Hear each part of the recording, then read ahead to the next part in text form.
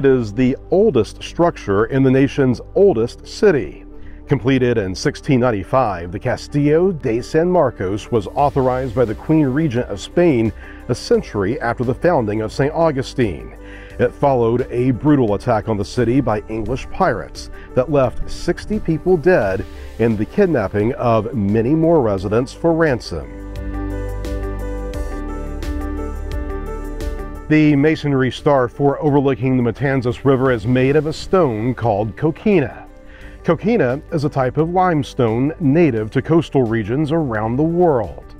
Quarried from nearby Anastasia Island, the stone comprises tiny seashells that have been compressed over thousands of years. At the time of completion, the fort featured coquina walls up to 19 feet thick in places and more than 30 feet high, surrounded by a moat and protected by dozens of cannons mounted at the bastions. The fortress came under attack from a British fleet in 1702, and then by General James Oglethorpe from Savannah in 1740. Throughout the decades, the Coquina Walls held, and St. Augustine was never captured. Spain was forced to give up the fort to Great Britain with the signing of the Treaty of Paris at the end of the French and Indian War in 1763. The British renamed it Fort St. Mark, the English translation of the original name. The Castillo was returned to Spain at the end of the American Revolution. It wasn't until 1821 that the U.S. War Department took possession, eventually giving it the name Fort Marion. After being decommissioned, the fort was declared a national monument, and the original name was reinstated. Today, this well preserved piece of history is one of the most popular things to do when visiting St. Augustine. On this episode, I want to give you some tips if it's your first time exploring this landmark and run down what you should know before visiting the Castillo de San Marcos. All of that and so much more straight ahead from St. Augustine.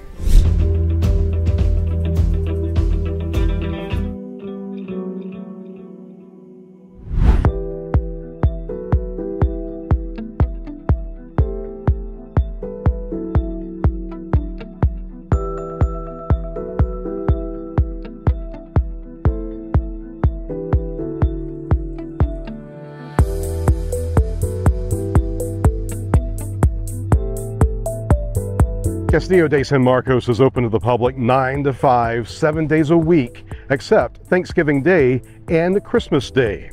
The fort does tend to get busy during peak seasons and can sometimes have a short wait for admission. Try going earlier in the day to avoid lines. It's considered a walk-in park, with the entrance fee applying to each individual. Adult tickets are $15. Children 15 and under are admitted free with a paying adult. Only credit and debit cards are accepted. Keep in mind there are no refunds for weather, such as thunder and lightning, which will cause the closure of the upper level of the fort. Lower interior rooms remain open during inclement weather. We have a link on our website where you can find more information about discounts and interagency passes.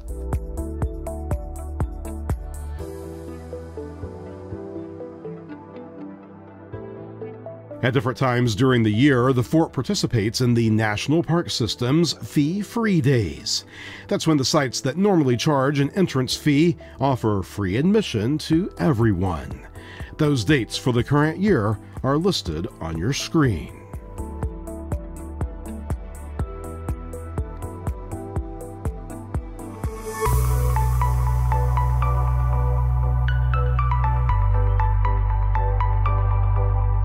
There's a parking lot just outside the fort maintained by the city that is small and almost always full. If you're lucky enough to snag a spot, expect to pay 250 an hour at an automated station.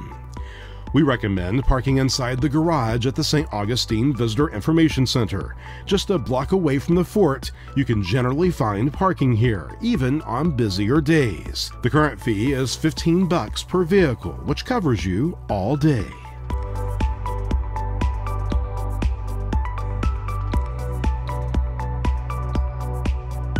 Pets are not allowed inside this historic structure. However, if you've got Fido in tow, he will be allowed to walk around the exterior areas of the park. Dogs must be kept on a leash and be well behaved.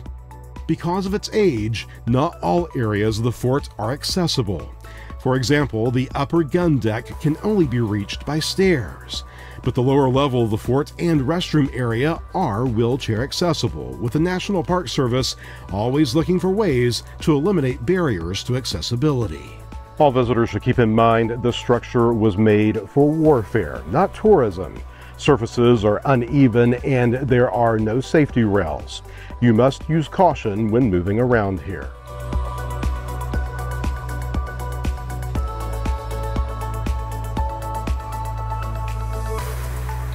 One of the best resources for park information is available at your fingertips through the National Park Service mobile app. Download it to your smartphone before you arrive, giving you access to self guided walking tours of the interior rooms, gun deck, and exterior grounds. Because cell service can be spotty inside the coquina walls of the fort, be sure to toggle on the Save This Park for Offline Use option after downloading. The app is free on Android and iPhone.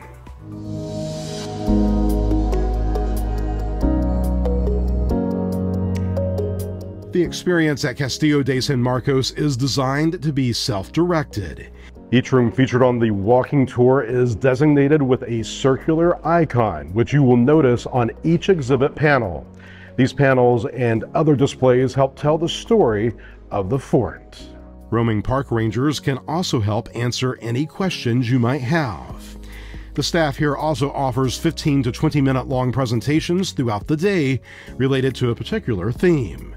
Program topics, locations, and times vary based on the season, weather, and visitation. Look for a sign in the courtyard area for presentations and any special events that might be happening the day you visit.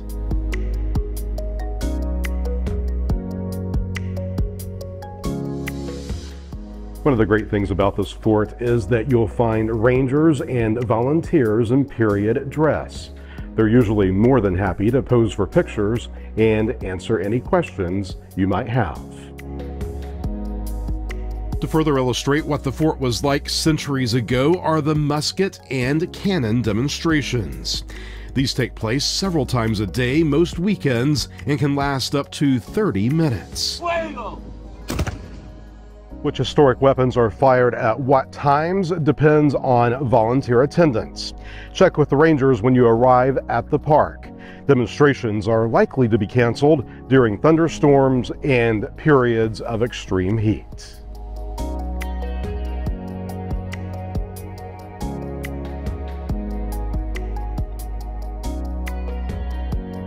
There are restrooms, water fountains, and a small gift shop on site. But you won't find any food options, not even a soda or snack machine. Only bottled water is available in the gift shop. There are dozens of restaurants within a half mile of the fort, so plan accordingly.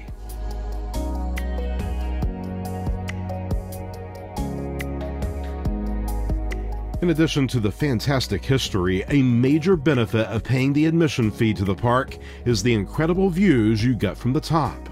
Almost every vantage point from the upper gun deck provides some unobstructed view of the city, including the Matanzas River. There's nothing like sitting on one of the park benches up here, taking in the views while cooling off thanks to the stiff breezes.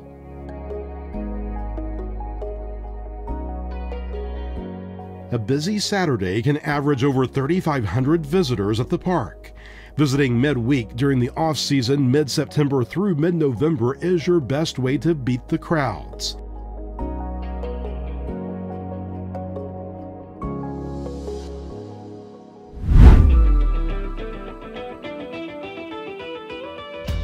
That's it. Some tips and other things you should know before visiting the always popular Castillo de San Marcos in St. Augustine.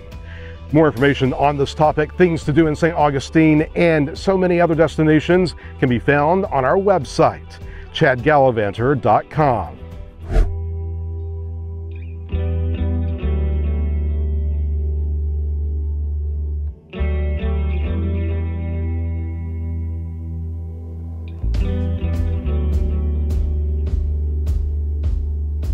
Hey, we're always here in St. Augustine shooting vacation guides just for you. Check out some of our other recent videos about St. Augustine. I think you'll find them really helpful. As always, thank you so much for watching. See you next time.